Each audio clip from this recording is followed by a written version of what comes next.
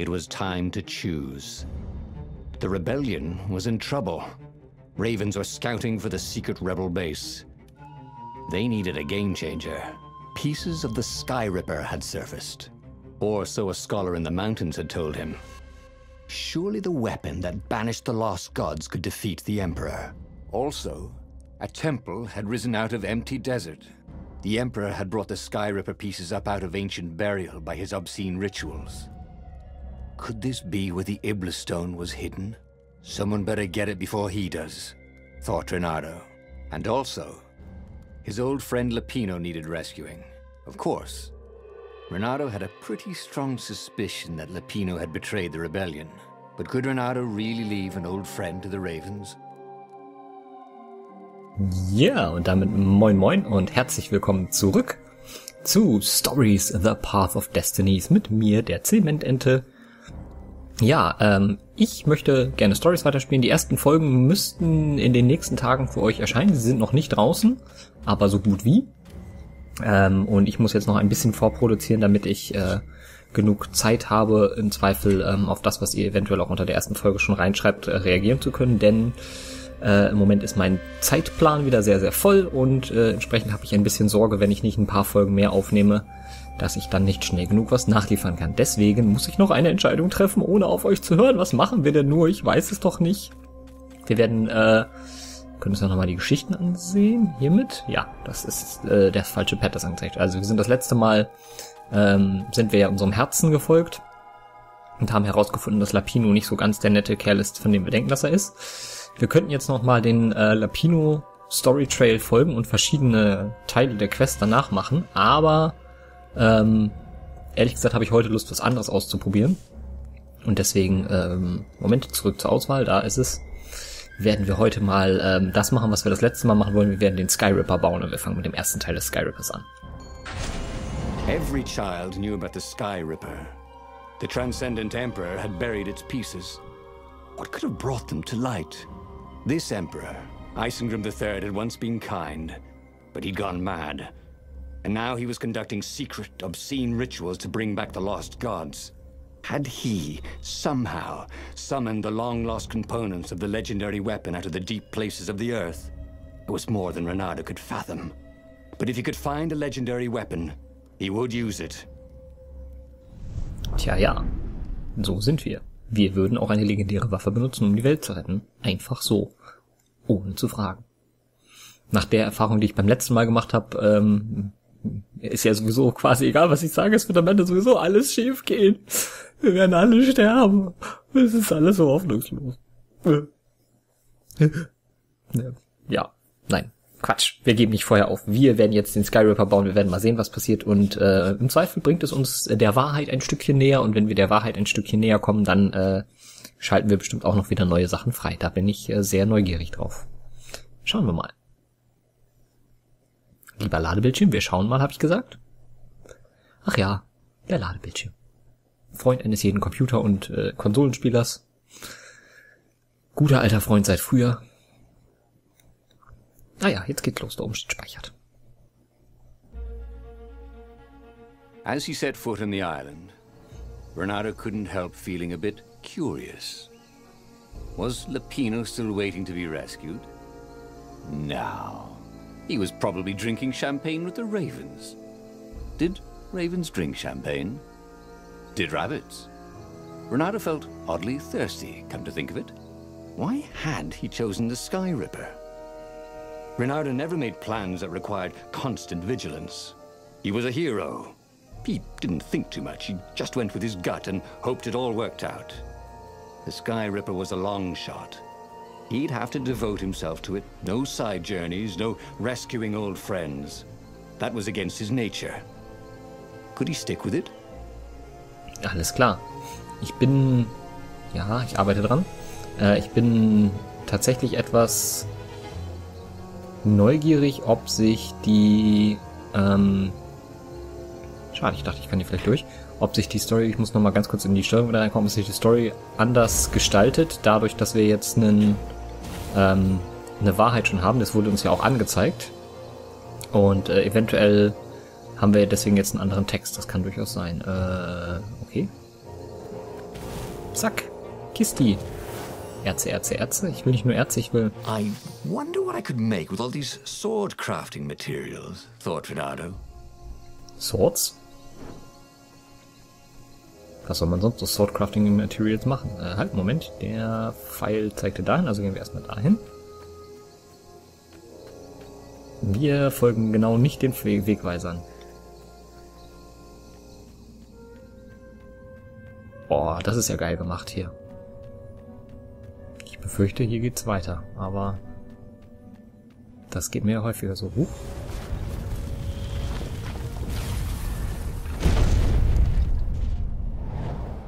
Okay, wir gehen mal hier zum Schwertdings. Wir könnten das Heldenschwert weiter aufbessern. Wir haben nämlich 32 Erz und 3 Elendextrakte. Ich würde aber gerne erst die anderen Schwerter bauen, bevor ich überhaupt auf die Idee komme, irgendwelche Schwerter aufzubessern. Ich würde gerne erst alle Schwerter haben, damit ich nämlich möglichst viele Wege freischalten kann. Das heißt, wir sparen. So, jetzt habe ich es gesagt.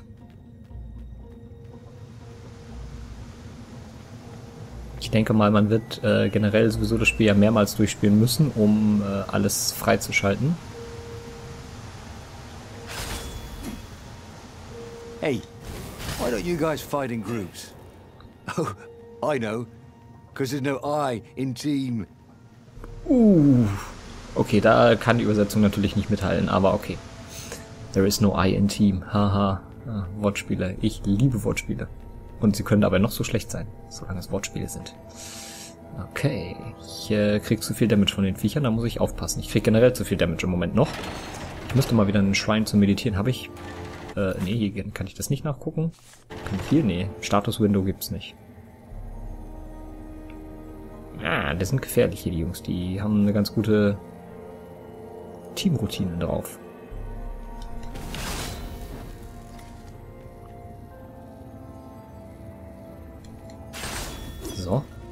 Nee, hier geht's nicht durch. Da ist leider auch wieder so eine Tür, wo ich noch nicht rein kann.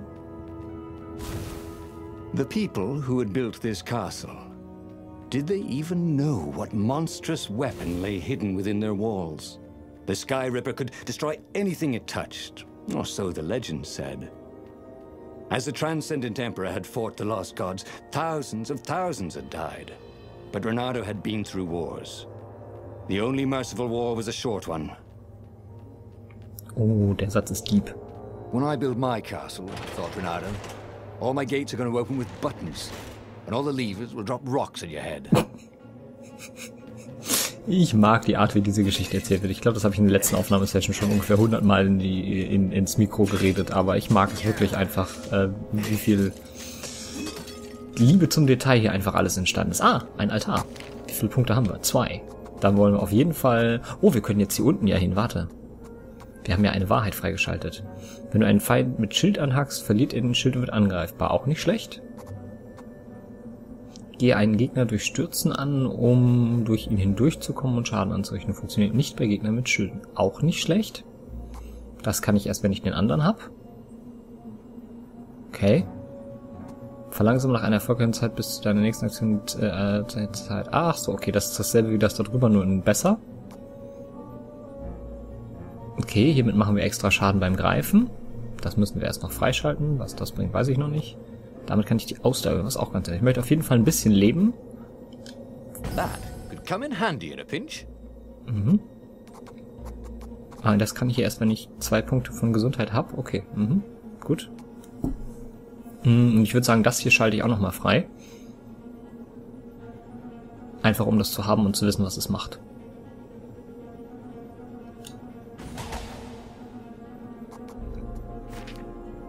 Das jetzt so gut ist, weiß ich nicht. Zack. Aber wir machen halt einfach mal auf gut Dünken, was so passt und dann klappt das schon. Oh, ich will Schwerter. So viele schöne... Hey, do old ravens go grey?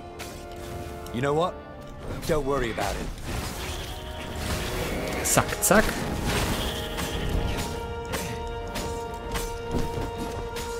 Da war ein perfekter Schlag dazwischen frag mich jetzt noch nicht, wie ich es gemacht habe, aber...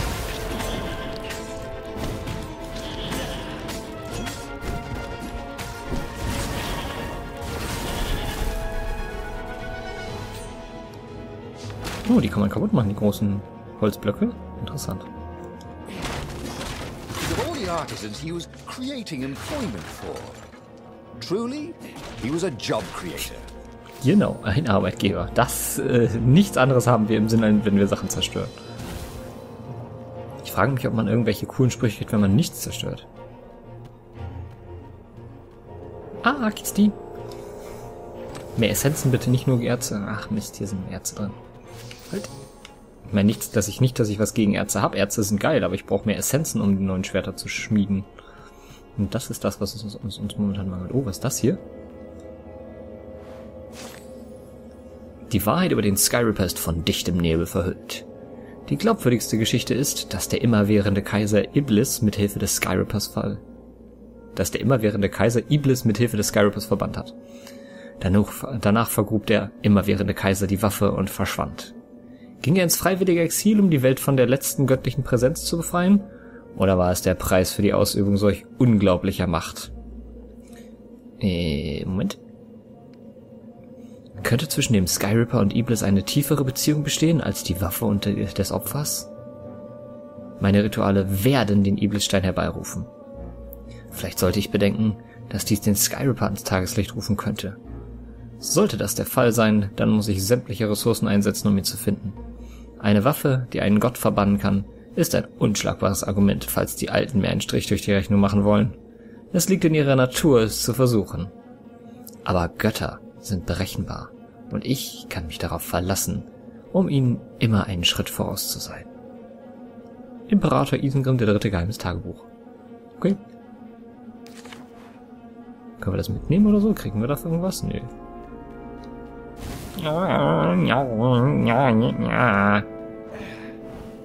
Dafür mache ich Lampen aus. Vor Frust.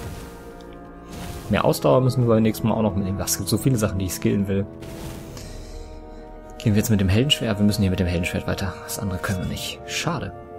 Wir brauchen so dringend die anderen Schwerter. Wir könnten theoretisch nochmal den Lapino-Sidequest machen und da gab es ganz am Anfang eine Feuertür. Die könnten wir uns theoretisch nochmal angucken, was da passiert. Zack, zack. These things really slice like ham. Zack, zack. Easy going.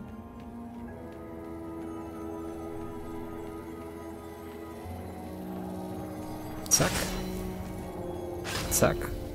Nein! Alter, der Schaden, den die machen, ist so enorm.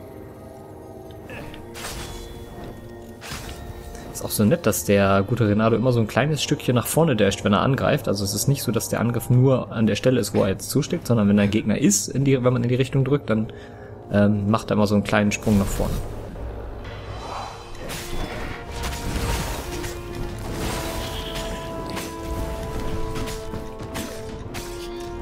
Schwertenergie verbrauchen schadet sicherlich auch nicht. Mist, ich brauche einen Gegner zum Aufspießen. Ah, ah, da waren zwei auf einmal. Ich konnte den einen mit dem Wurf vom Gegner abblocken, aber den anderen nicht mehr.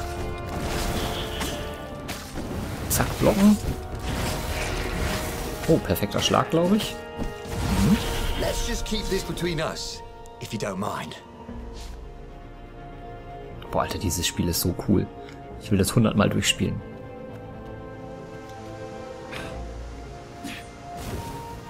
Och nö, ein Schalterrätsel.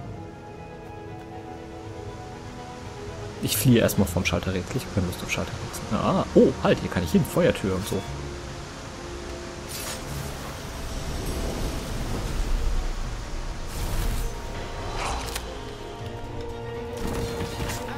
Oh, ich muss noch einen, einen Typen fürs Schild.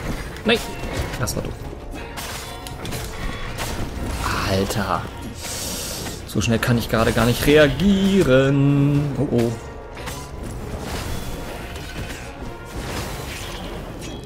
Nein! Time to die, he thought. And it was. Shit. Du bist tot. Aber ich will nicht tot sein. Ich will auch nicht da hinten mit dem Schalterrätsel weiter. Ich will durch die Feuertür weiter. Einfach weil das das erste Mal eine, eine ist, wo ich eine Tür öffnen kann, für die ich ein neu, neues Schwert brauche. So. Diesmal stelle ich mich ein bisschen weniger doof an.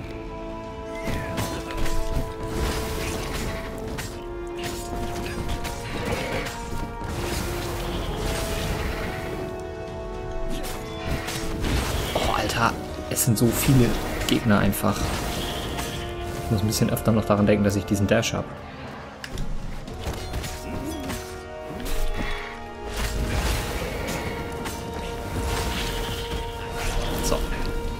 Renato was remembering all his old tricks. And some new ones. Now, he really ought to ask for a raise. Oh, guck mal, eine rote Kiste. Hatten wir bisher noch nicht. Oh, Extrakte. Du hast ein Juwel gefunden. Elementarer Widerstand. Ah ja, dafür müssen wir aber erst wieder an so eine... Mhm, genau. An so eine Werkbank.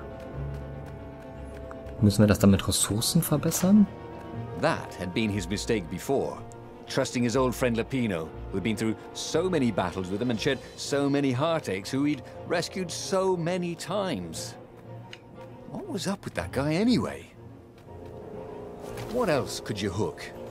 Ist aber nett, dass er ähm, so ein paar Story-Geschichten noch erzählt, ähm, die dann tatsächlich mit dem mit der Wahrheit auch zusammenhängen, die wir schon kennen. Und dass er das dann immer mal wieder einblendet. Das finde ich ganz nett. Bin dann gespannt. Äh, also es ist halt tatsächlich auch, wenn ihr das jetzt zum ersten Mal, also wenn ihr euch das Spiel selber noch kauft, das ist dadurch also auch ein geniales Let's Play-Spiel eigentlich. Äh, wenn ihr euch jetzt das Spiel kaufen würdet und das dann nochmal durchspielen wollen würdet, könntet ihr das machen und ihr würdet einfach mit einer anderen Quest anfangen und ihr würdet ähm, quasi andere Quest-Bemerkungen bekommen, wenn ihr das durchspielt. Nice. Oh, guck mal hier, so eine Altar-Dings. Einen Punkt haben wir. Ich sagte, eigentlich würde ich gerne noch ein bisschen Ausdauer haben. Dann könnte ich das öfter nutzen. Es sind hier auch noch so viele coole Sachen mit dem zusätzlichen äh, Zeitverlangsamen. Ist, glaube ich, ganz nett. Das weiß ich nicht. Das weiß ich auch nicht. Ich finde das eigentlich noch ganz nett, um äh, mehr Optionen gegen diese Schildtypis zu haben. Erstmal. Schauen wir mal. Aber es ist, äh, um gegen die Schildtypen nicht immer jemanden aufspießen zu müssen, sozusagen. Oh, guck mal. Hier wird bestimmt nichts Schlimmes passieren. There it was. Skyripper's armature. The stuff that dreams are made of. Engineers' dreams, anyway. The device was intricate. No one alive had the skill to make a thing like it. How was it part of a weapon at all? He'd have to ask a scientist. But first, he'd get the second piece. Sky Ripper had a heart, a core that had come to rest on the next island. Well, there was another island he could reach. Zenobia had just invaded it with her father's Raven battalions. She must be encamped there still. But fighting Zenobia now, that made no sense at all. He'd already sacrificed one friend to get this, this armature, was it? He didn't need to hurry to face her. She would find him. Okay. Äh. Interessant, das ist, diese Zenobia-Quest haben wir im Grunde genommen schon gemacht, aber das wäre jetzt sozusagen wieder diesen Zug aufspringen. Auch nicht schlecht. Aus irgendeinem unerklärlichen Grund wählte Reynard, Reynardo Zenobia. Reynardo hatte das Gehäuse des Skyreapers gefunden, doch ohne den Kern war die Waffe nichts weiter als eine leere und nutzlose Hülle. Vielleicht sollte er sich mit Zenobia treffen, die vor kurzem eine nahegelegene Stadt erobert hatte. Sie war die Adoptivtochter des Imperators und seine größte Generälin, aber sie war auch eine alte Freundin. Reynardo wusste nicht genau warum, aber er musste sie einfach sehen. Oder der einzige Grund, das Gehäuse zu finden, war die legendäre Waffe zusammenzusetzen, die einst die verlorenen Götter verbannt hatte. Es lag auf der Hand, dass Reynardo den Kern an sich bringen musste. Tja, und welche Story-Entscheidung ich äh, dieses Mal treffen werde, das, liebe Leute, erfahrt ihr in der nächsten Folge. Ich gehe nochmal kurz hier rüber, damit ich nicht auszusehen was auslöse gleich. Ähm, ja, welche dieser beiden Entscheidungen ich treffen werde, das erfahrt ihr gemeinsam in der nächsten Folge. Bis dahin wünsche ich euch alles, alles Gute und sag ciao, ciao.